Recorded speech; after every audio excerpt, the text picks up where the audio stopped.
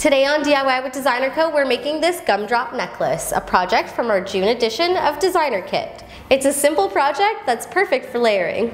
For today's project, you're going to need a long piece of chain, two jump rings, one eye pin, and a semi-precious stone with a horizontally drilled hole, two pairs of needle nose pliers, one round nose plier, and a pair of wire cutters.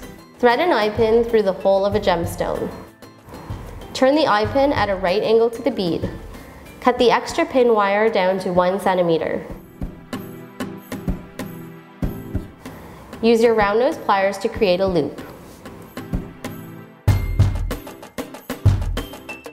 Cut your chain to the desired length. Remember, if you don't plan to use a clasp, the chain must be long enough to fit over your head. Use jump rings to connect each end of the eye pin to either end of your chain.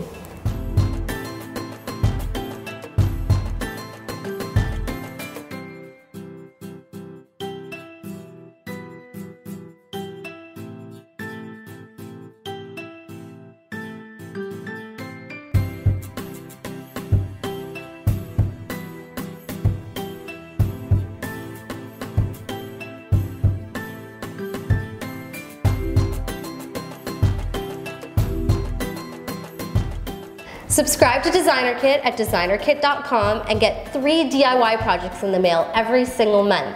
Enter Coral at checkout and receive a fourth project in your first kit. And make sure you check out these other awesome DIY projects at the links below.